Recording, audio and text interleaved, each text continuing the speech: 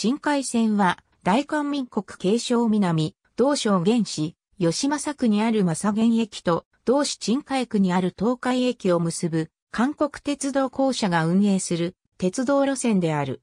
現在、定期旅客列車の設定はなく、貨物列車のみ運行されている。旅客列車は2012年11月1日のダイヤ改正以降喜び、全線馬山駅と鎮海駅を結ぶ無群派号のみ運行されていたが、2015年1月31日をもって定期旅客列車の運行が終了した。その後、同年4月1日から10日まで、鎮海軍交際開催による臨時列車が運行されたのを最後に、旅客列車は運行されていない。2012年の改正以前は、2006年11月1日より、ダイヤ改正で、セマウル号のみの運行に変更され、運行区間も京府線、テグ、京前線小原鎮海間4往復となっていた。2006年の改正以前は、喜び前線馬山鎮海間の通勤列車が、朝と昼終わりの2往復設定されていた。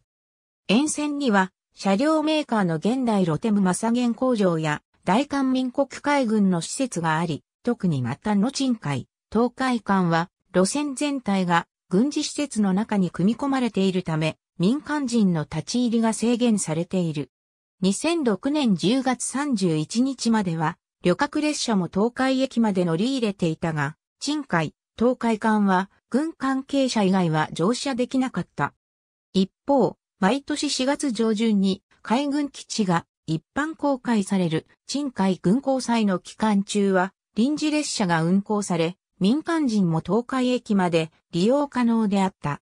鎮海線を運行する旅客列車はすべて機動車となっていたが、かつては現代ロテムマサゲン工場で製造された電車の試運転、改装用として証言新章原間が電化されていた。